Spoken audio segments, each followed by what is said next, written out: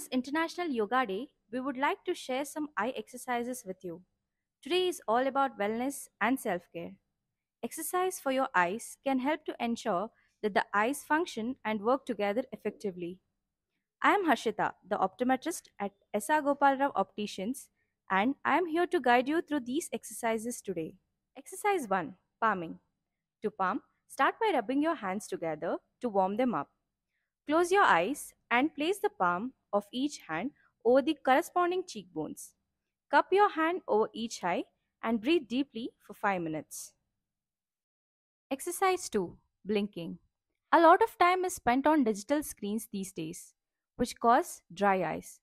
Try to blink more often to restore the tear film. Exercise 3 Focus Shift. Keep your pointer finger about an inch away from your eye. Concentrate on your finger. Hold your focus while you slowly take your finger away from your face. For a little while, gaze towards a distant object. Concentrate on your outstretched finger and gently return it to your eye. Turn aside and concentrate on anything into a distance. Exercise 4 Figure 8 Concentrate on a spot on the floor approximately 10 feet in front of you. With your eyes, draw an imaginary figure 8.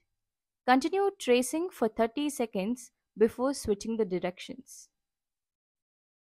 Exercise 5 Near and Far Focus.